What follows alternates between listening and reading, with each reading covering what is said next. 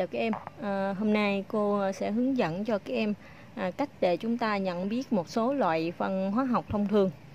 Ờ, à, vậy dựa vào tính chất à, của một số loại phân hóa học như là độ hòa tan, màu sắc và mùi mùi thì người ta có thể phân biệt được một số loại phân bón thường dùng trong nông nghiệp. Ví dụ như là đạm, lân, kali và vôi. Thì à, để à, thực hành tốt bài này thì chúng ta sẽ có những vật liệu và dụng cụ cần thiết như sau. À, thứ nhất là cô có bốn mẫu ờ, phân hóa học. Mẫu số 1 mẫu số 2 mẫu số 3 và mẫu số 4 thì bốn mẫu này là đã chúng ta sẽ phân biệt xem đó là loại nào. Thì đây là bốn mẫu mà chúng ta không có chưa biết tên trước ha. Rồi thứ hai là ống nghiệm thủy tinh hoặc là cốc thủy tinh. Thì ờ, cô có bốn cốc thủy tinh. Ờ, một cái ờ, thìa nhỏ, một cái thìa nhỏ để dùng múc các mẫu phân học. Một cái cốc để nước sạch, một cốc để nước sạch. Rồi chúng ta sẽ bắt đầu thực hành như sau à, phần đầu tiên là chúng ta sẽ phân biệt nhóm phân bón hòa tan nhóm ít hoặc không hòa tan. Phần đầu tiên là bước đầu tiên chúng ta sẽ lấy một ít phân bón à, lượng nhỏ bằng hạt ngô. Chúng ta cho vào trong ờ, à, lọ thủy tinh hoặc cốc thủy tinh.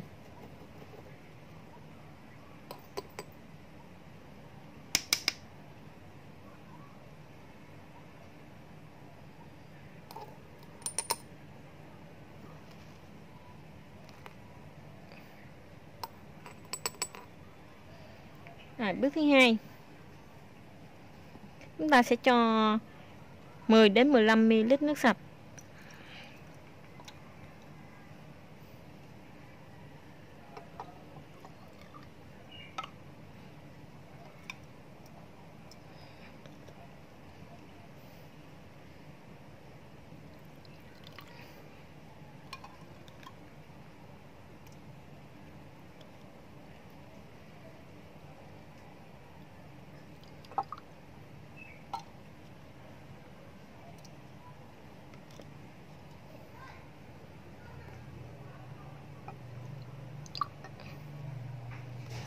Sau khi chúng ta đã cho nước vào trong cốc thủy tinh có chứa các loại phân bón.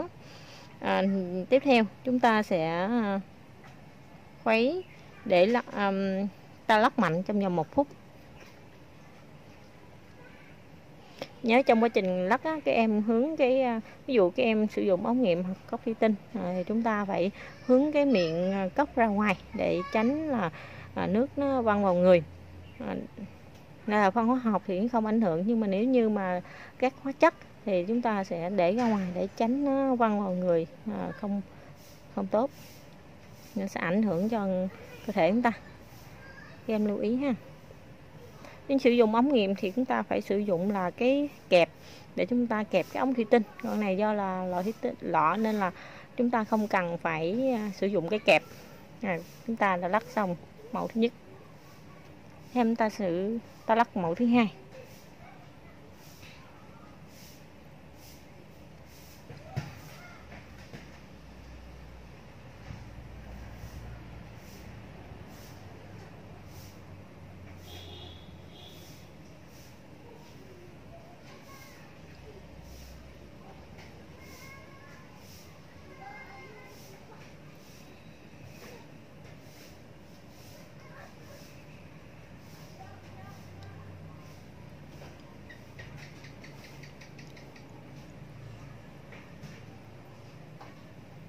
Rồi tiếp theo chúng ta sẽ lắc mẫu thứ ba.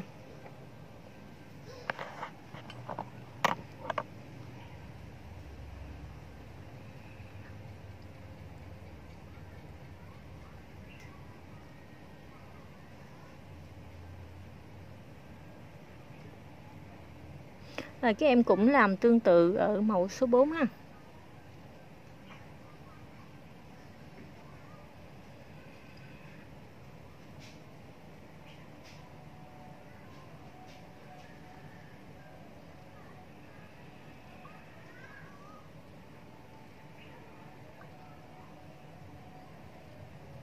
Rồi, sau khi chúng ta đã lắc xong chúng ta sẽ để à, các bốn lọ này để lắng trong khoảng 1 đến 2 phút. Và sau đó chúng ta sẽ quan sát mức độ hòa tan như thế nào. Này chúng ta sẽ để khoảng à, 2 phút nha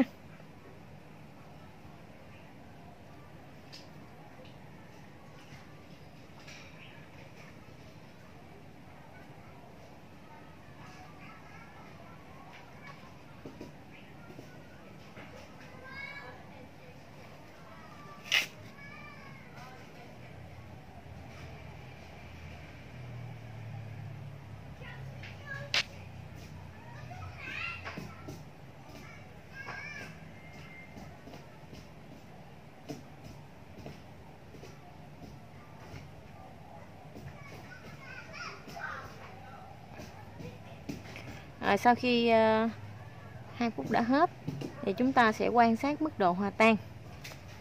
À, chúng ta sẽ thấy bốn mẫu. Đây là mẫu thứ nhất. Ta thấy thấy là nước là phân bón ha đã đã, đã nó tan đã tan hết. À, À. mẫu số 2 mẫu số 2 cũng đã tan hết. Mẫu số 3 à, mẫu số 3 đây. Mẫu số 3 Sao? nó tan rất ít là vẫn còn à, ở dưới phía dưới đấy mẫu số 4 cũng vậy số 4 cũng tương tự. Đây. mẫu số 4 cũng vẫn còn đấy ở dưới. Vậy chúng ta rút ra được một cái kết luận như sau. Thì nếu như uh, phân bón nào mà nó hòa tan hòa tan hết thì đó là đạm và kali. À, còn không hoặc ít hòa tan đó là lăng và vôi. Vậy trong bốn mẫu thì các em thấy là mẫu số 1 nó tan hết và mẫu số 2 cũng tan hết. Vậy chúng ta rút ra kết luận là mẫu số 1 và mẫu số 2 đó là đạm và kali. Còn mẫu số 3 và mẫu số 4 là nó tan ít hoặc là nó, ít, nó không tan. À, tan không tan thì đó là lăng và vôi. Vậy và chúng ta có cái phần kết luận ha. Vậy mẫu 1 và mẫu 2 đó là đạm và kali và mẫu 3 mẫu 4 đó là lăn và vôi à, vậy. thí nghiệm phân biệt một số loại phân bón. Trước tiên ta nhận biết phân đạm amoni sunfat để tiến hành thí nghiệm ta cần các dung dịch. Dung dịch phân amoni sunfat dung dịch phân kali clorua dung dịch phân superphosphate kép và dung dịch natri hydroxit sau đây tôi xin tiến hành thí nghiệm. Cho lần lượt dung dịch natri hydroxit vào các ống nghiệm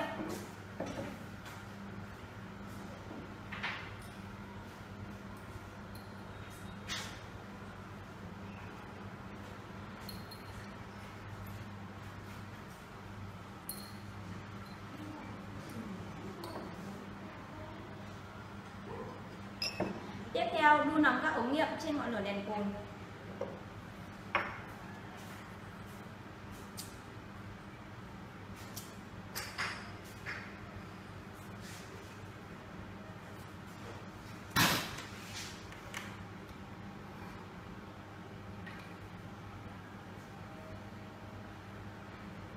Quan sát hiện tượng trong ống nghiệm.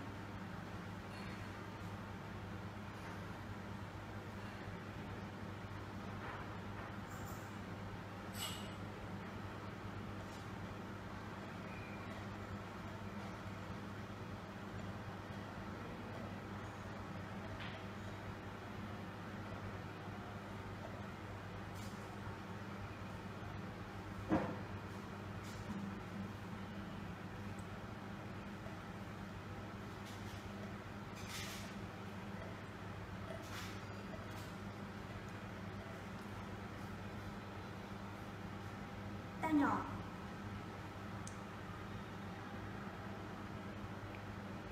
Đặt một mảnh thủy ẩm lên thành ống nghiệm.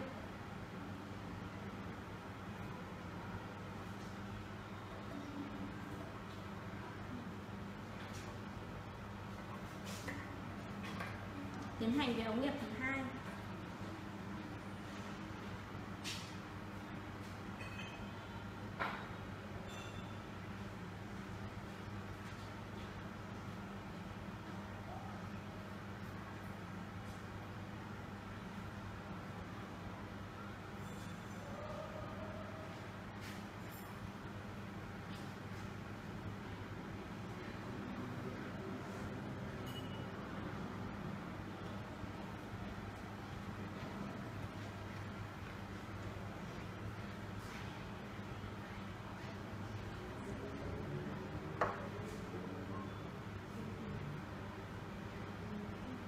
vùng mạch nhiều nên miệng miệng nghiệm.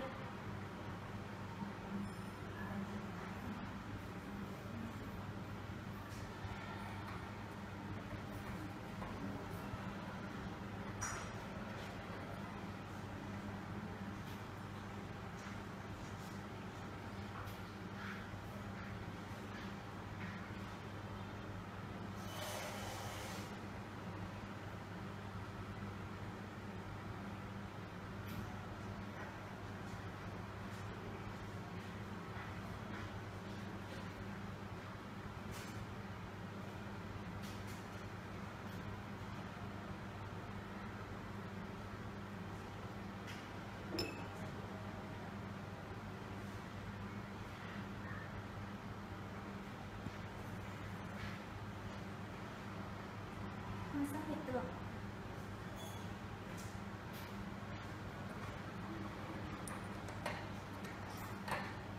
chứng tỏ ống nghiệm thứ ba chứa dung dịch ammoni sulfat giải thích và tiếp phương trình hóa học. Tiếp theo, ta tiến hành thí nghiệm phân biệt dung dịch phân kali clorua và dung dịch phân superphosphat kép